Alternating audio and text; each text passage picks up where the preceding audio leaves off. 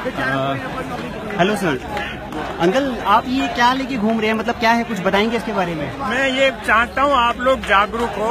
ये घोटाले आज से शुरू नहीं है 1948 से हैं। मैं दो बार इसके पीछे जेल गया हूँ। मैं हूँ Harishankar Sharma IIT Bombay first batch graduate 1963 M tech from Imperial College London retired from Bharat heavy electricals मैं चाहता हूँ आप लोग जागरूक हो। आने वाले समय का आपको ध्यान नहीं है। धरती गर्म हो रही है। मनुष्य जीवन इस धरती पे सिर्फ़ सौ साल बचा है।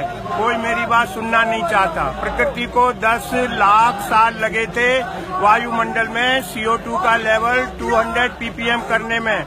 मनुष्य ने 100 साल में 420 कर दिया है। आधा डिग्री टेम्परेचर बढ़ा है।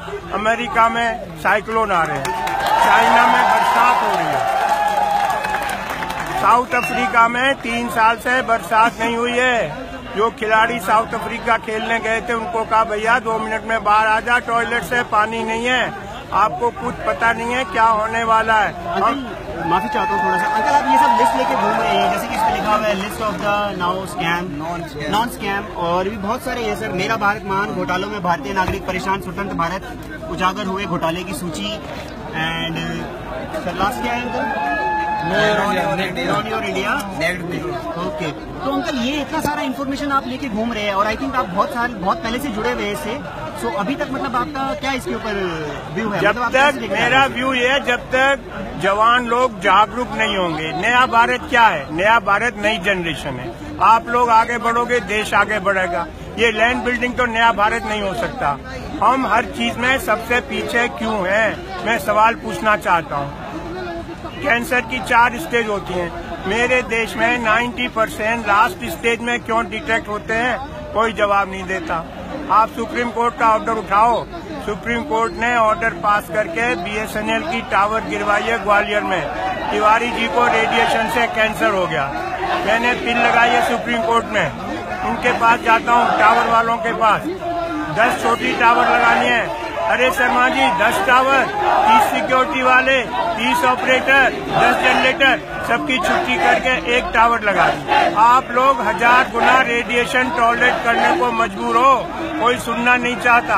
कैंसर पे लेक्चर दे रहा था और लड़कियाँ आई मेरे पास, अंकल जी, हम आपस में बैठ के बात करती हैं। हमारी उम्र तो है नहीं, हमें महावारी क्यों हो रही है? गाँव का रहने वाला उल्टा प्रदेश का।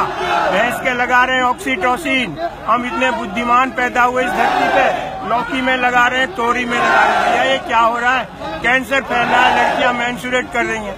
बेसिकली अंकल देखा जाए तो आप भ्रष्टाचार के खिलाफ हैं। और अंकल आपको यहाँ का कुछ आइडिया है? जो किस बारे में किया जा रहा है धरना प्रदर्शन? आपको इसका आइडिया मुझे है? पूरा आइडिया है। मैं रोज अखबार मैं ये बताना चाहता हूँ कि इन्होंने भ्रष्टाचार करके पेपर लीक कर दिए पैसे लेके। जिन्होंने पैसे दिए उनका सिलेक्शन हो जाएगा। बाकी आप लोग सुबह शाम मेहनत करते हैं बुद्धिमान भी हैं लेकिन उनको अब सिलेक्शन नहीं होगा। मैं इसलिए आया हूँ। Thank you uncle thank you so much आप मतलब मैं अस्सी साल का हूँ भैया। भारत अभी इलेक्ट्रिकल से रिटायर हुआ पंद्रह साल पहले। अब भी पढ़ा रहा हूँ उन्हीं कामों में लगा रहता हूँ। आपको कुछ आइडिया नहीं है क्या होने वाला है? सुप्रीम लेक्चर दे के आ रहा हूँ, उत्तराखंड त्रासदी पर एलडी इंजीनियरिंग कॉलेज, मुजफ्फरनगर। आठ लाख लोग उत्तराखंड छोड़ चुके हैं। नेपाली मजदूर उंगली काट के ले गए, रिंग के चक्कर में, पैर काट के ले गए, गहनों के चक्कर में। पच्चीस हज़ार का तो नामो निशान भी नहीं है। हम इतने बुद्धिमान हैं, पड़ोसी पे ब्लेम डाल दो। कोई नहीं मिला, भगवान, महाप्रलय, पूरा झूठ। हाइड्रो टनल के ठेकेदारों ने कूड़ा वहीं डाल दिया था। नॉर्मल बरसात हुई थी, भागीरथी नदी का लेवल सत्तर फुट ऊँचा हो गया। आपने वीडियो देखे होंगे एक एक मिनट में मकान गिरते। आने वाले समय में उत्तराखंड डिपॉपुलेट होगा, हिमाचल प्रदेश डिपॉपुलेट होगा। लाखों लाख आपके रिश्तेदार बांग्लादेश से आएँगे, उनका एरिया डूब जाएगा, चाइना उनको घुसने नहीं देगा। मैं हँसी की बात नहीं कर रहा हूँ। मालदीप आइलैंड के आठ टापू डूब चुके हैं।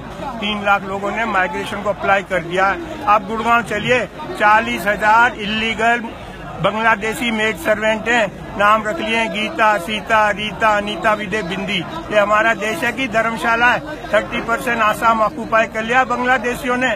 आपको जागरूक होना पड़ेगा। अंकल जी, युवाओं के लिए कोई संदेश? युवाओं के लिए भैया, आप खड़े हो, अपनी बात रखो आगे। आप ही नया भारत हो। बाकी सब नया भारत नहीं है। आपको इस देश को आगे उठाना है। हम सबसे पीछे हैं हर फ़ील्ड में। जो ये कहते हैं, चाइना से, लक्ष्मी जी चाइना से, गणेश जी चाइना से, होली की पिचकारी चाइना से, दिवाली की लड़ चाइना से, रक्षाबंधन की राखी चाइना से। भैया, हमारे बच्चे कहाँ जाएँगे?